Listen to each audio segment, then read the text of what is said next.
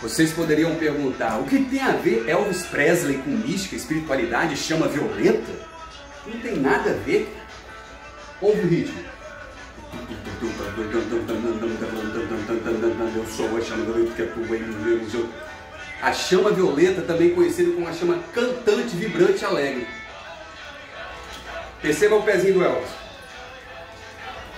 Ele cantando, bem acelerado aqui. Como, como que eu tocava? Sempre toco.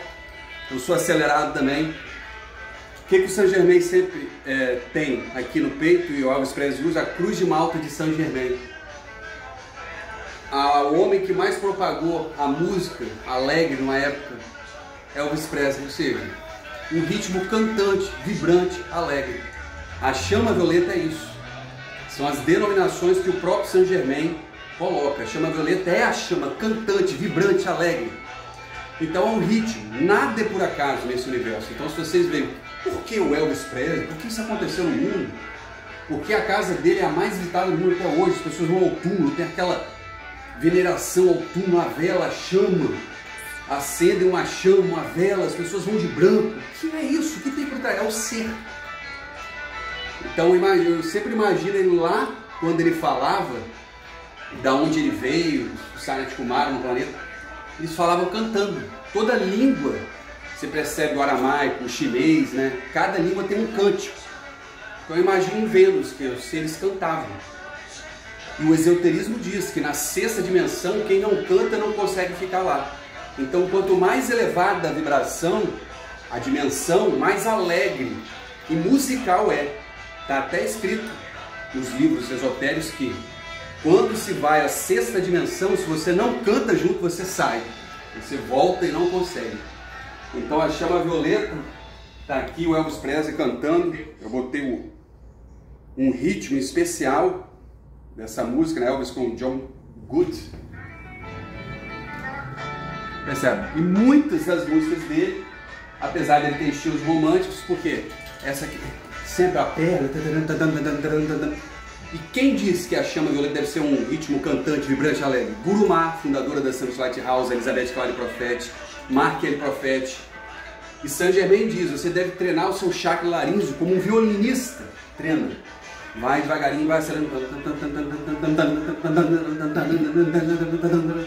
Então, resumindo o que eu quero dizer, eu vejo uma lógica, um paralelo muito exato, perfeito, matemático, simétrico, harmônico como que o Elvis Presley trouxe a alegria, a música, a arte, um ritmo vibrante, cantante, alegre, e até libertando a humanidade de uma era de tabus sexuais, preconceitos religiosos, etc., libertando.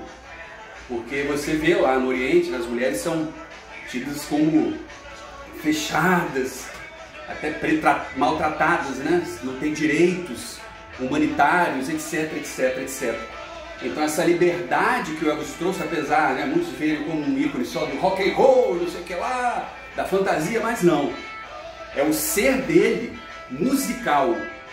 E quando ele era novo, criança, os extraterrestres vinham até ele, tocava a cabeça dele, via os extraterrestres de outro mundo, saía a luz ele via o futuro dele tocando. Isso está no livro Blue Star Love, que eu já tenho falado no canal lá do Flávio do Vale, Tati Mahatma Sul, no meu canal tenho falado também no canal da TV Galáctica sobre esse lado místico espiritual de Elvis Presley. O primeiro livro lançado no Brasil, Elvis Presley Místico.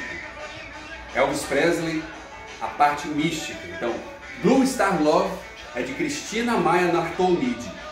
E o, o outro livro lançado em 1980, o primeiro livro no Brasil de Elvis Presley, também é místico. Então, para quem não sabe, ele era todo místico, tinha contato com ufologia, numerologia, estudava o Khalil Gibran, Helena Petrovina Blavatsky, estudava os mestres da luz, a grande fraternidade branca, tinha um anel místico do Elvis Presley que ele ganhou da fraternidade branca, que estava galgando, querendo iniciações, os lenços que ele jogava eram um ritmo é, da era uma, um rito, né, que ele estava realizando relativo a alguma coisa os pavões que tinham na, na blusa dele e na casa da Graceland, ele fala, esse símbolo eu quero, que é o símbolo da ressurreição e a vida do Cristo. A chama da ressurreição e a vida. E o que, que eu faço nessa encarnação? Muito. Eu sou, eu sou, eu sou a ressurreição e a vida. O arcanjo é aquela hora da chama da ressurreição. Atuai com justiça divina. Tem à noite, de manhã. Então é sempre essa. A, o ser retorna, mas com missões diferentes, mas na mesma frequência, na mesma alegria, na mesma chama da vida, que é a chama violeta. E eu, confirmando nessa né, existência, nasci no dia 16 do mês 7 do mês 7 de 1977, 777, que é justamente o sétimo raio, que é o raio da chama violeta, a chama da misericórdia, a chama cantante, vibrante, alegre, a chama do perdão, da perfeição, de Saint Germain. E é isso que eu tenho para passar para vocês, esse ritmo alegre, cantante, vibrante do Elvis Presley.